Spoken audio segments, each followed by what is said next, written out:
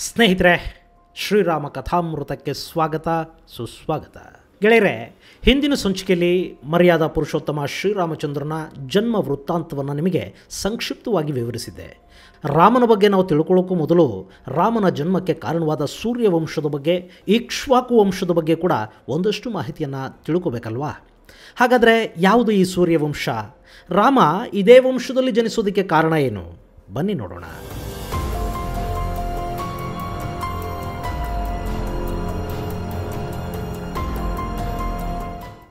ಸೂರ್ಯವಂಶ.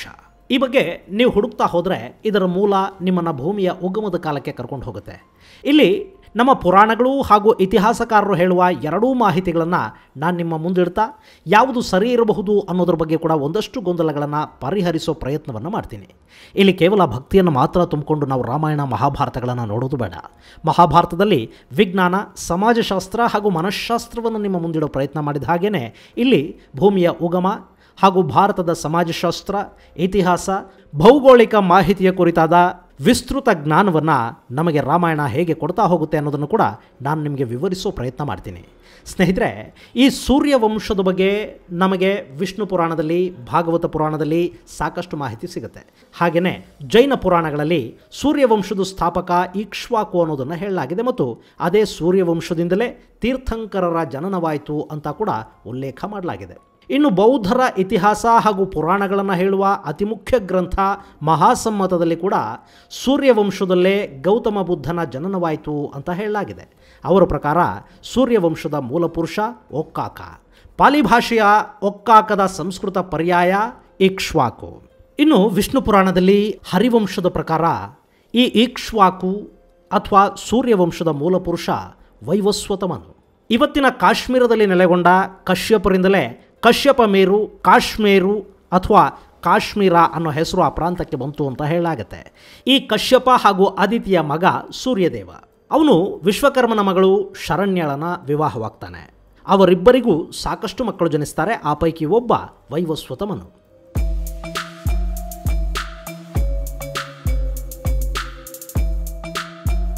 ಅವನು ಭೂಲೋಕದ ಮೊದಲ ರಾಜ ಆಗ್ತಾನೆ. ಮುಂದೆ ಭೂಮಿ ಪ್ರಳಯದ ಸಮೀಪಕ್ಕೆ ಬಂದಾಗ ಮಹಾವಿಷ್ಣು ಮತ್ಸ್ಯಾವತಾರಧಾರಿಯಾಗಿ ಈ ಮನುವನ್ನು ವೇದಗಳನ್ನು ಹಾಗೂ ಇಲ್ಲಿನ ಋಷಿಗಳನ್ನು ಕಾಪಾಡ್ತಾನೆ. ಅದಾದ ನಂತರ ಈ ಮನುವಿನಿಂದ ಸೂರ್ಯವಂಶ ಹುಟ್ಕೊಳ್ತು. ಇವನ ಮಗಾನೇ ಈಕ್ಷ್ವಾಕು ಅನ್ನೋದು ವಿಷ್ಣು ಪುರಾಣ ಹಾಗೂ ಹರಿವಂಶ ಪುರಾಣಗಳಲ್ಲಿ ನಮಗೆ ಸಿಗೋ ಮಾಹಿತಿ. ಈ ಬಗ್ಗೆ ಹಿಂದೆ ನಾನು ದಶಾವತಾರಗಳ ಬಗ್ಗೆ ಹೇಳುವಾಗ ವಿವರವಾಗಿ ಹೇಳಿದ್ದೀನಿ. ಹಾಗಾಗಿ ಅದನ್ನು ಮತ್ತಿಲ್ಲಿ ಹೇಳೋದಕ್ಕೆ ಹೋಗೋದಿಲ್ಲ.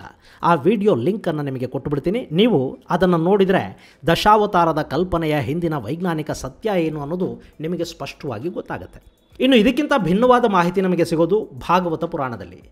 ಭಾಗವತ ಪುರಾಣ ಅನ್ನೋದು ವಿಜ್ಞಾನಕ್ಕೆ ಹಾಗೂ ವಾಸ್ತವಕ್ಕೆ ತುಂಬ ಹತ್ತಿರದಲ್ಲಿರೋ ಗ್ರಂಥ.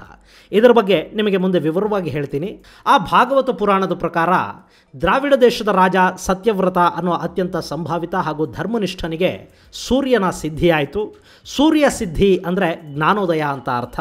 ಹೀಗೆ ಅಪಾರ ಜ್ಞಾನವನ್ನು ಪಡ್ಕೊಂಡ ಅವನು ವೈವಸ್ವತ ಮನು ಅಂತ ಕರೆಸ್ಕೊಂಡ. ವಿವಸ್ವಾನ್ ಅನ್ನೋದು ಸೂರ್ಯದೇವನ ಮತ್ತೊಂದು ಹೆಸರು. ಅವನ ಕೃಪೆಗೆ ಒಳಗಾದ ನಂತರ ಇವನು ಸೂರ್ಯದೇವನ ಮಾನಸ ಪುತ್ರನಾದ ಅಂದರೆ ವಿವಸ್ವಾನನ ಮಗ ವೈವಸ್ವತನಾದ ಮುಂದೆ ಅವನಿಂದ ಸ್ಥಾಪಿತವಾದ ವಂಶ ಸೂರ್ಯವಂಶ ಅನ್ನಿಸ್ಕೊಳ್ತು ಅಂತ ಹೇಳಲಾಗಿದೆ. ಅಂದರೆ ಇದರ ಅರ್ಥ ಸೂರ್ಯವಂಶದ ಮೂಲ ದ್ರವಿಡ ದೇಶದಲ್ಲಿದೆ ಅಂತ ಆಯಿತು. ಇಲ್ಲಿ ಭಾಗವತ ಪುರಾಣದಲ್ಲಿ ದ್ರವಿಡ ದೇಶದ ನರೇಶ ಅಂತ ಹೇಳಿರೋದನ್ನ ನಮ್ಮ ಆಂಗ್ಲ ವಿದ್ವಾಂಸರು ಒಂದು ಹಂತಕ್ಕೆ ಅಪಾರ್ಥವನ್ನು ಮಾಡ್ಕೋತಾರೆ. ಬ್ರಿಟಿಷ್ ವಿದ್ವಾಂಸ ಫ್ರೆಡ್ರಿಕ್ ಏಡನ್ ಪರ್ಗೆಟರ್ ಇದನ್ನು ಎಷ್ಟು ಅಭಾಸವಾಗಿ ಅಪಾರ್ಥ ಮಾಡ್ಕೋತಾರೆ ಅಂದರೆ, ಈ ವೈವಸ್ವತಮನು ಅನ್ನೋನು ವೇದಕಾಲಕ್ಕೆ ಪೂರ್ವದಲ್ಲಿ ದ್ರಾವಿಡ ನಾಡಲ್ಲಿ ಇದ್ದವನು, ಹೀಗಾಗಿ ಆರ್ಯರಿಗೂ ಇವನಿಗೂ ಯಾವ ಸಂಬಂಧವೂ ಇಲ್ಲ, ಇವನು ದ್ರಾವಿಡ ಅಂತ ಅವರು ಹೇಳೋದಕ್ಕೆ ಪ್ರಯತ್ನ ಮಾಡ್ತಾರೆ.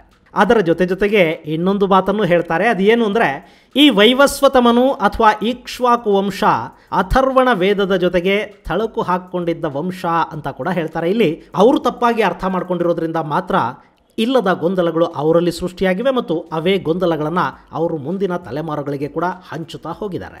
ಇಲ್ಲಿ ದ್ರಾವಿಡ ಅಂತಂದರೆ ಆರ್ಯ ದ್ರಾವಿಡ ಅಂತಲ್ಲ. ಮೂರು ಸಮುದ್ರಗಳ ನಡುವಿನ ಭೂಮಿಯನ್ನು ದ್ರವಿಡ ಭೂಮಿ ಅಂತ ಕರೀತಾರೆ. ದ್ರವಿಡ ದೇಶ ಅಂದರೆ ಈ ಮೂರು ಸಮುದ್ರಗಳು ಸೇರುವ ಜಾಗ. ಅದು ನಮ್ಮ ದಕ್ಷಿಣ ಭಾರತ. ಹೀಗಾಗಿನೇ ನಮ್ಮನ್ನು ದ್ರಾವಿಡರು ಅಂತಾರೆ ಹೊರತು ಇದು ಆರ್ಯ ದ್ರಾವಿಡ ಅನ್ನೋ ಕಲ್ಪನೆ ಅಲ್ಲ.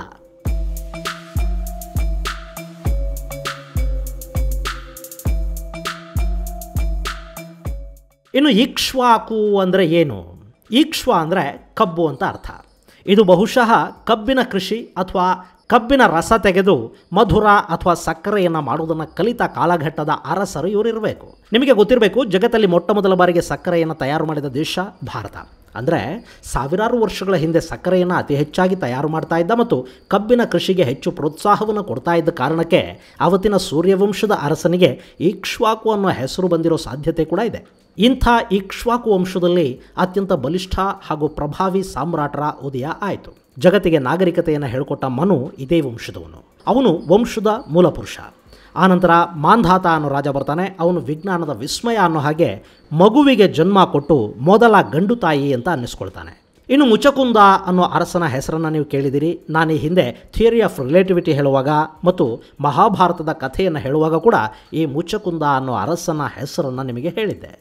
ಹಾಗೆ ಅಂಬರೀಷ ಭರತ, ಹರಿಶ್ಚಂದ್ರ, ದಿಲೀಪ, ಸಗರ, ರಘು, ರಾಮ ಹೀಗೆ ಒಬ್ಬರಿಗಿಂತ ಒಬ್ಬರು ಮಹಾಬಲಶಾಲಿಗಳು, ಮಹಾಸಾಧಕರು ಇದೇ ವಂಶದಲ್ಲಿ ಹುಟ್ಟಿ ಬರ್ತಾರೆ. ಇದು ನಮ್ಮ ಪುರಾಣ ಗ್ರಂಥಗಳಲ್ಲಿ ಹಾಗೂ ಬೌದ್ಧ ಹಾಗೂ ಜೈನ ಗ್ರಂಥಗಳಲ್ಲಿ ಸೂರ್ಯವಂಶದ ಬಗ್ಗೆ ನಮಗೆ ಸಿಗೋ ಮಾಹಿತಿ.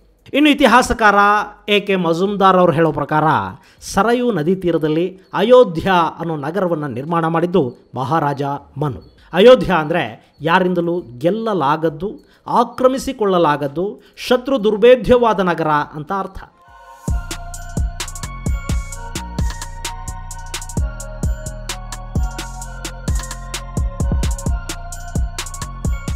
ಇಲ್ಲಿ ಶತ್ರುಗಳಿಂದ ಗೆಲ್ಲಲಾಗದ್ದು ಅನ್ನೋದರ ಬಗ್ಗೆ ನಮಗೆ ಸತ್ಯೋಪಾಖ್ಯಾನ ಬೇರೆಯದ್ದೇ ಆದ ಅರ್ಥವನ್ನು ಕೊಡುತ್ತೆ.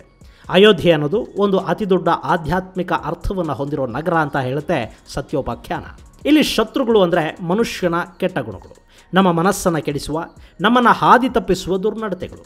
ಅಂಥ ದುರ್ನಡತೆಗಳು ಹಾಗೂ ದುರಾಚಾರಗಳಿಂದ ದೂರವಿದ್ದ, ಯಾವತ್ತಿಗೂ ಕೆಟ್ಟದ್ದರಿಂದ ಗೆಲ್ಲಲಾಗದ, ಸತ್ಯ ಸದಾಚಾರಗಳಿಂದ ಕೂಡಿದ ನಗರ ಅಯೋಧ್ಯೆ ಅಂತ ವರ್ಣಿಸುತ್ತೆ ಸತ್ಯೋಪಾಖ್ಯಾನ.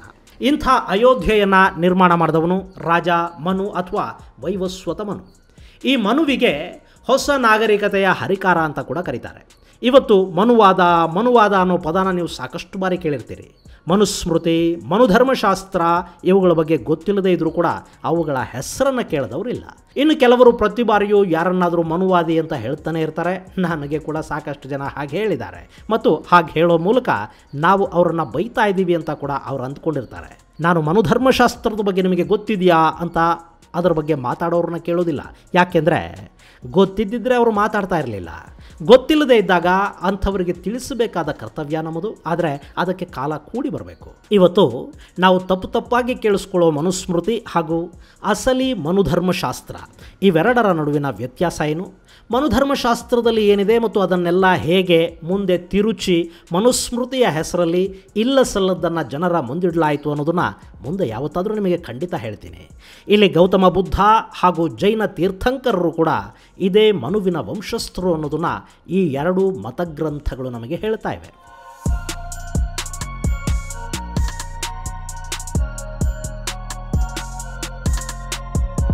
ಇಂಥ ಇಕ್ಷ್ವಾಕು ವಂಶದ ಮಹಾರಾಜ ದಶರಥ.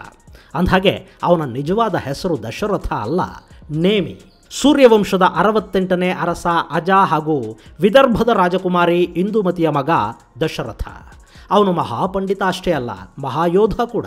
ಅದರಲ್ಲೂ ರಥವೇರಿ ಯುದ್ಧಕ್ಕೆ ನಿಂತರೆ ಅವನನ್ನು ಸೋಲಿಸುವ ಗಂಡು ಅವತ್ತಿಗೆ ಅಲ್ಲಿ ಯಾರೂ ಇರಲಿಲ್ಲ. ರಥವನ್ನು ಅತ್ಯಂತ ಚಾಕಚಕ್ಯತೆಯಿಂದ ನಡೆಸಬಲ್ಲವನಾಗಿದ್ದ.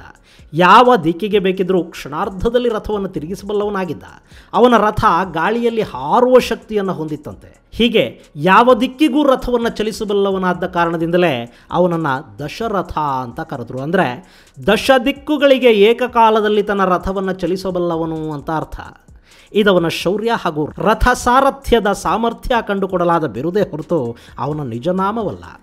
ಈ ದಶರಥ ಬಿರುದಾಂಕಿತ ನೇಮಿ ಅಯೋಧ್ಯೆಯನ್ನು ಆಳುವಾಗಲೇ ಮತ್ತೊಂದು ಕಡೆ ಪರಶುರಾಮರು ಕ್ಷತ್ರಿಯ ಸಂಹಾರದ ಮಹಾಯಜ್ಞವನ್ನು ಕೈಗೊಂಡು ಲೋಕ ಸಂಚಾರವನ್ನು ಮಾಡ್ತಾಯಿದ್ರು ಹಾಗಾದರೆ ದಶರಥ ಹಾಗೂ ಪರಶುರಾಮರ ಭೇಟಿ ಆಗಲಿಲ್ವಾ? ಕ್ಷತ್ರಿಯ ಸಂಹಾರ ಮಹಾಯಜ್ಞದಲ್ಲಿ ಸೂರ್ಯವಂಶದ ದಶರಥ ಉಳುಕೊಂಡಿದ್ದು ಹೇಗೆ ಅನ್ನೋದನ್ನು ನಿಮಗೆ ಮುಂದಿನ ಸಂಚಿಕೆಯಲ್ಲಿ ಹೇಳ್ತೀನಿ ಅಲ್ಲಿವರೆಗೆ. ಜೈ ಹಿಂದ್, ಜೈ ಕರ್ನಾಟಕ, ಜೈ ಶ್ರೀರಾಮ.